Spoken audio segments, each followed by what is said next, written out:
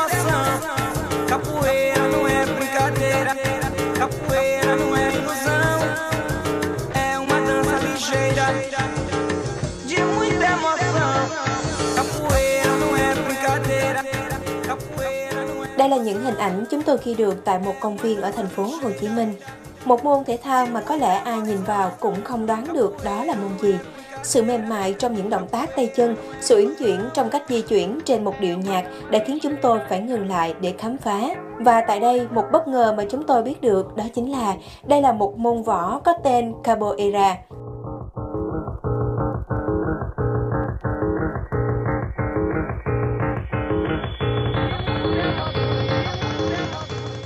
Capoeira là một trong những môn võ thuật truyền thống nổi tiếng nhất của người Brazil, nhưng lại có xuất xứ từ châu Phi. Với hệ thống kỹ thuật độc đáo và khác lạ so với nhiều bộ môn còn lại, nhưng vẫn đậm tính hiệu quả. Capoeira dễ dàng gây ấn tượng với người hâm mộ võ thuật trên toàn thế giới, trong đó có Việt Nam. À, chị đến với môn này thứ nhất là do chị thấy hiếu kỳ à, lần đầu tiên chị chị chị thấy thật ra chị tập thể dục xung quanh ở công viên này thì chị thấy nha xong thấy mọi người hát nè à, tập nè tập võ nhưng mà tập à, với cái kiểu rất là lạ khác với cái môn những cái môn võ mà truyền thống ở Việt Nam mình thường có.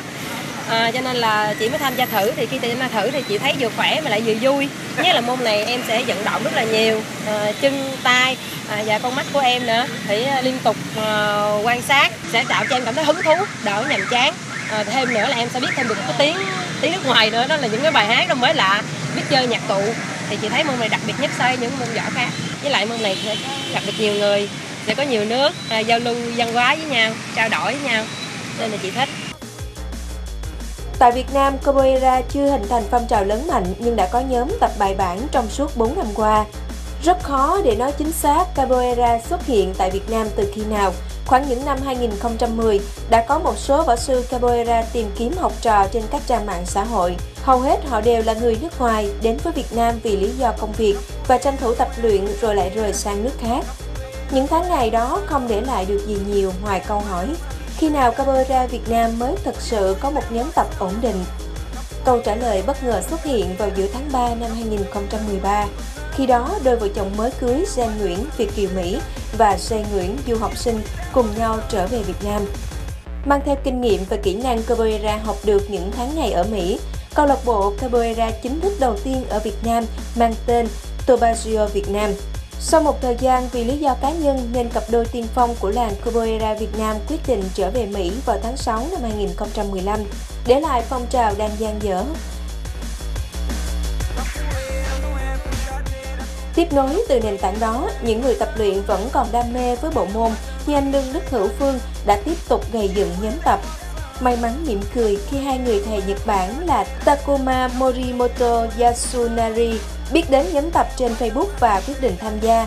Một lần nữa, người hâm mộ Capoeira Việt Nam lại có thêm cơ hội tập luyện cùng những huấn luyện viên có trình độ, thay vì phải mày mò từ tập luyện như đã từng. Tính đến nay là khoảng 3 năm rưỡi gần 4 năm. Lúc trước thì có một thầy người Mỹ gốc Việt qua đây dạy. Nhưng mà sau một thời gian khoảng 2 năm thì có việc mình hẻ về nước rồi. Thì anh muốn là Cabora anh được tiếp tục và được phổ biến rộng rãi ở Việt Nam. Thì đó là lý do anh tạo nên cái nhóm này.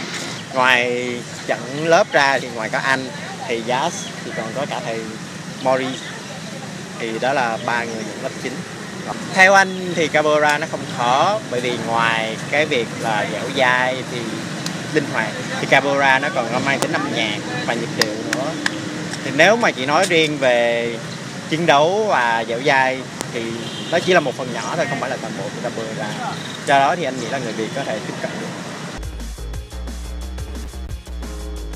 Không phải tự nhiên mà Capoeira được người Việt yêu mến đến mức bất chấp khó khăn để theo đuổi.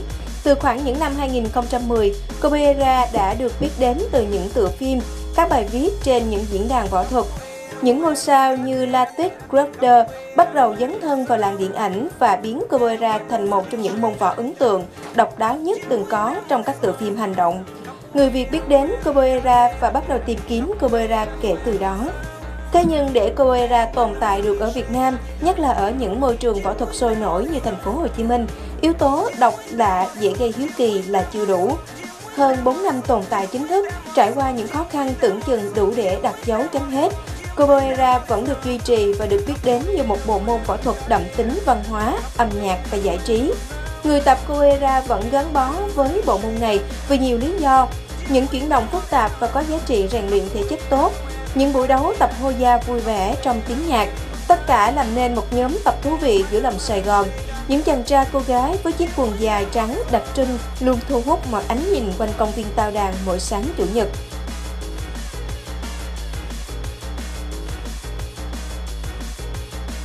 Hiện nay Capoeira vẫn chưa phải một bộ môn võ thuật thể thao được công nhận chính thức ở Việt Nam, dẫn tới một số khó khăn trong việc phát triển thêm nhóm tập hoặc tìm địa điểm tập luyện.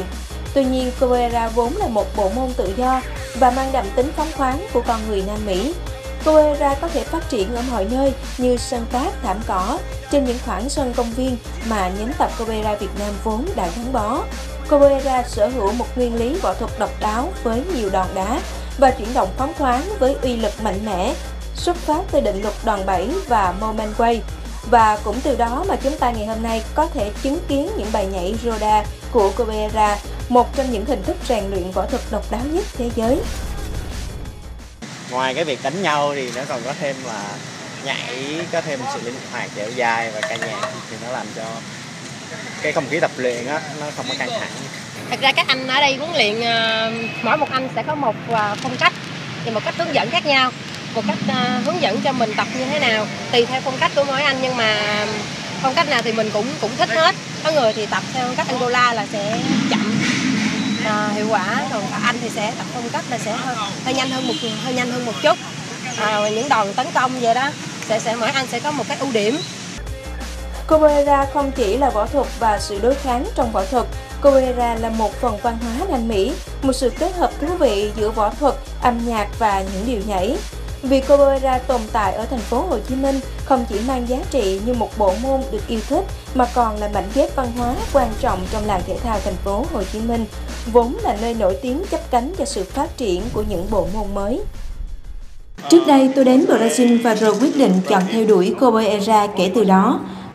Tôi nghĩ Capoeira không chỉ đơn thuần là võ thuật chiến đấu, Capoeira có niềm vui, âm nhạc và những điều nhảy. Tôi muốn được ở lại Việt Nam lâu dài để tập luyện và chia sẻ Capoeira với các bạn trẻ ở đây.